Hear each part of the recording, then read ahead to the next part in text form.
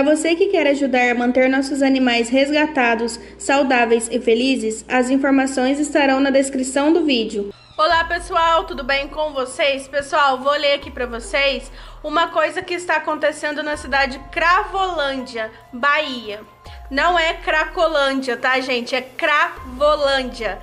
É estranho, mas é, é quase igual Cracolândia, então algumas pessoas podem confundir. Então é Cravolândia, na Bahia. Vou ler para vocês aqui a notícia, gente. Prefeitura na Bahia publica decreto que determina abate de animais em vias públicas. Animais abandonados em vias públicas. A Prefeitura de Cravolândia, no sudeste da Bahia, publicou um decreto que autoriza o abate de animais em caso de estiverem soltos em vias públicas, caso os tutores não sejam encontrados. A ação é ilegal e é enquadrada na Lei de Crimes Ambientais. O decreto foi publicado em Diário Oficial após a repercussão negativa nas redes sociais e na cidade. A prefeitura informou inicialmente a reportagem por telefone que houve um erro de digitação e o que o decreto será corrigido. A gestão afirma que irá se manifestar em nota.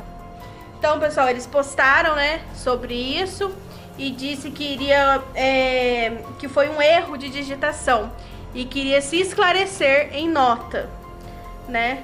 É, a publicação estabelece algumas etapas antes do abate dos animais soltos em vias. Primeiro, a determinação de que sejam apreendidos e recolhidos com equipamentos e veículos adequados. Caso não seja possível o transporte, o decreto poderá ser sacrificado no local onde estiver. Ainda segundo o decreto, quando o animal for recolhido, deve ser encaminhado para um depósito e ficará à disposição do proprietário por cinco dias. No caso de, dos tutores que não forem buscar os animais, eles passam a ser vendidos, doados ou entregues a entidades de pesquisa. A publicação diz ainda que, caso seja impossível ou inviável os passos anteriores, a Prefeitura determina que os animais poderão ser abatidos pelo próprio poder público.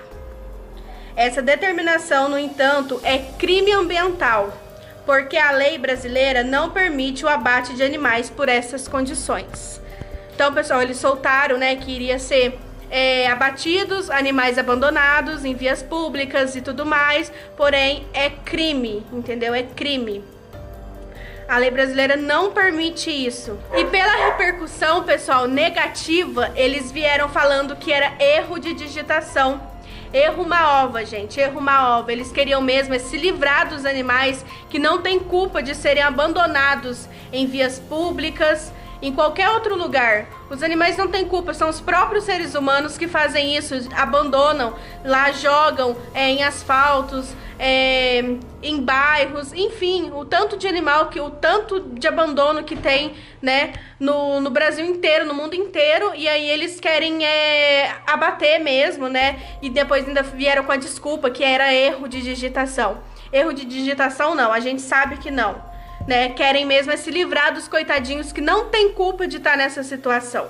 Então, pessoal, é isso, né? Eles falaram que iriam se esclarecer em nota, né? E já falaram aí meio que se esclareceram dizendo que foi erro de digitação. Mas quem acredita, né? Quem acredita? Só quem é muito leigo nessa parte para não saber que eles querem mesmo é se livrar dos coitadinhos. E a gente acha isso um absurdo, pessoal. É um absurdo, é a nossa opinião. Quando a gente viu isso, a gente nem acreditou. A gente pensou, não é possível, né? E eu acho um absurdo fazer isso com esses seres tão indefesos que não têm culpa do que o ser humano faz para eles, entendeu? Porque eles não têm voz, eles não têm vozes para se defender, para falar. Enfim, pessoal, fica aí cada um com a sua opinião. Deixa aqui nos comentários o que vocês acham sobre isso. A nossa opinião é essa, é um absurdo é assim inaceitável.